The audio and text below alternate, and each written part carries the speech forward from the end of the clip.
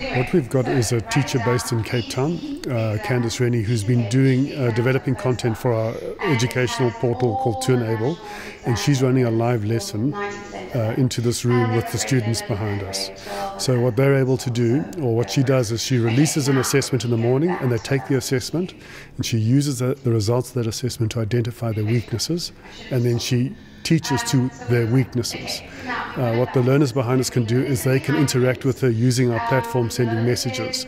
Uh, what we're finding happening there is we're getting a lot more interactivity with her because they're not having to put their hand up in class. So the children here are coming from different schools and they're a bit apprehensive to ask questions.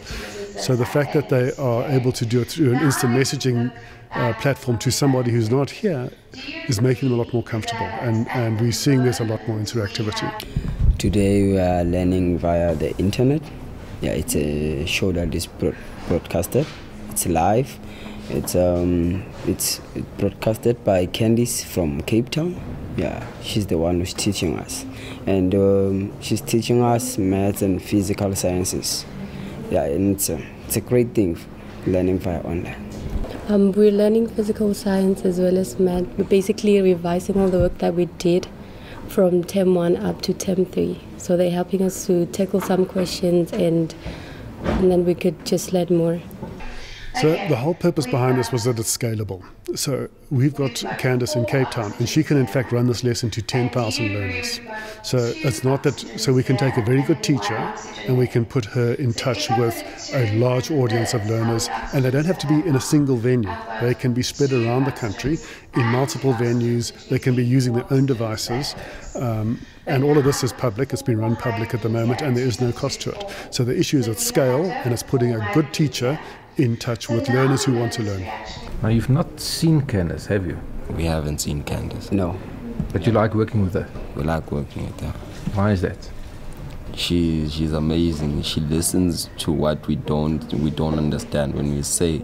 She doesn't like shout like some other teachers at our schools.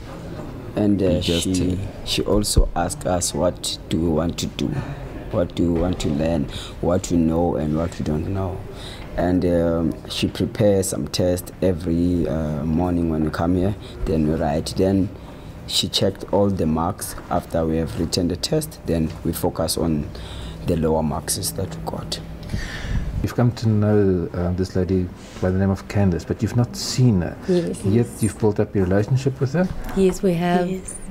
Through texting. We're just texting with her, and then she's asking us questions, and we reply whether we understand her or not. And if we have any questions, we also send her the messages. If I listen to the learners' reaction, yes, most definitely. One of the most prominent things was that they actually interact more with the facilitator because they prefer sending typed messages to her instead of um, standing up in a class and asking a question. Why is it different online than opposed to having somebody in the classroom? It's very interesting because uh, we like uh, it's using computers and we have we are any an experience. We are typing the messages, then we send. We ask all the things we want to ask. She's friendly and uh, she got all the um, requirements for a great teachers. Your experience? My experience, uh, it's uh, been ama- it's it's been a very amazing week, to say. Uh, Candice is a very lovely lady she's been teaching us a lot, uh, a lot. By this experience, I've learned that uh, you need to revise some work in order to know stuff, not that learn and go through. Candice has been do, giving us revision since January. It's hard. I think for me it's hard to communicate like I'm saying you in English because it's not my mother tongue. So in texting, it's easier. So, and do you think this is going to improve your marks?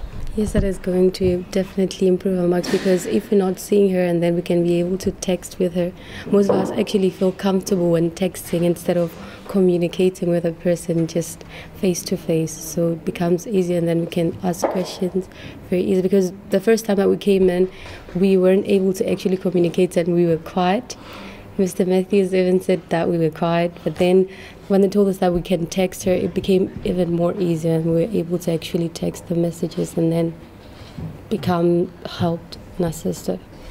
Looking at education as a whole in South Africa, what are your objectives uh, from 2Enable? So the whole idea was we started out as a music project working in rural locations and we recognized how important education is in these spaces and, and how difficult it is to deliver education to these spaces. So 2Enable was actually a program we developed to run our music, our music pro- project and we were delivering music questions and music resources into the space. And it turned out to be very successful. I can show you results that are taken on a daily basis of learners on our platform. So the next step up is now to use an interactivity space. So TV is is really it's not as good as for instance YouTube where you can go and demand a, a video because TV is just a series of videos that are, are linked. So we want a TV, but we want an interactivity component, which is the questions. So this classroom epitomizes what we're trying to do. We've got a group of learners interacting with a teacher and are successfully learning concepts which they're failing to learn in their classroom. Let's say this takes off. Where do you see yourself in a year from now? It's a difficult one to see this taking off. We've been running live lessons now for two or three months for grade 10, 11, and 12. Personally, at a learner level, I don't see a huge demand for education. They go to school, and in going to school, they think they're getting an education. The value of the education only becomes relevant when they get to apply for university or they apply for a job. From a parental perspective, they think sending their children to a school is the equivalent of a, of a good education. They're almost outsourcing the futures of their children to a school, and if the school fails to deliver, it's not going to work. So I would love to say that there's a demand for it, but it's not going to, it's not in the hands of the children. Very few outliers. For it to work in a government perspective, we need the government buy-in. Okay, and government buy-in is very difficult to come by because it is so cumbersome and slow and bureaucratic. And despite people within the government structure thinking that it's a great idea, the time it'll take to implement, I think we'll have probably moved on from where we are today.